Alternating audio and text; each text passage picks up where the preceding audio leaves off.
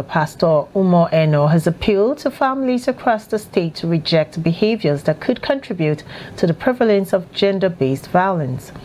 The governor, during his speech at the marriage ceremony between Jesimiel Damina, daughter of prominent Uyo-based preacher Pastor Abel Damina, and her spouse Salem Ibrahim at Power City International Uyo, emphasized the need of the couple to abstain from domestic violence and uh, exercise moderation in all aspects of lives.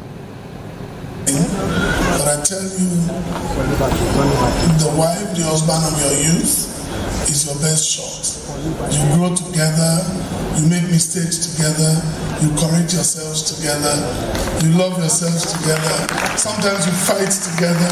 Not physical fights, please. I congratulate you from anybody who comes out of this church, not just biological children, anyone who is from this church being fathered by Papa Abel Damina will make a good home.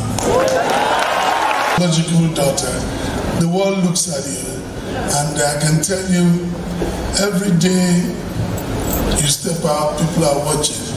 And I know God will give you the grace to leave His name and to carry on with all the things that He represents.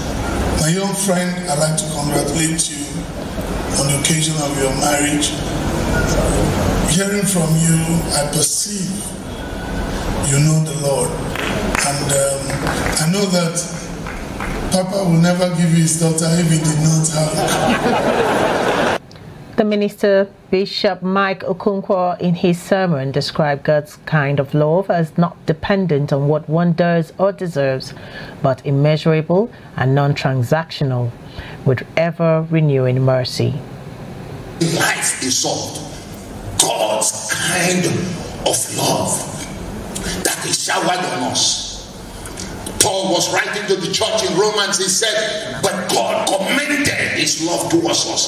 He deployed his love towards us that while we are yet sinners, think of that.